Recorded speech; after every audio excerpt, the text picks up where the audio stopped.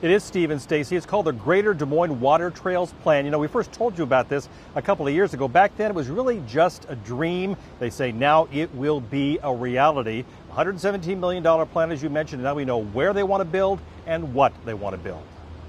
As Sky shows us, rivers are a beautiful amenity in the metro, except that few people do more than drive over them. But a massive new water trails plan is designed to change that. We have this great resource, but there's no way to access it. Kristi Knous is the president of the Community Foundation for Greater Des Moines. She and other Des Moines leaders have been working for several years to turn a dream for Des Moines waterways into reality. To really activate the waters, the, the rivers, and get people's feet in the water.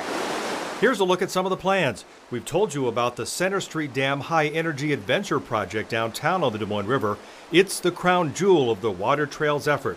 But now we're learning more about other proposed features across the metro, including the Fleur Drive Dam Learn and Plan project it's a Raccoon River parking area, island, and rapids for smaller watercraft like surfboards and whitewater boats. It's more of the beginner level experience, and it would be great tie-in to the development that's being proposed on the in the Gray's Landing, but also all the tie-in with what's existing at Gray's Lake. This is the nature connection at the Scott Avenue Dam. It includes better shore access and boat launching.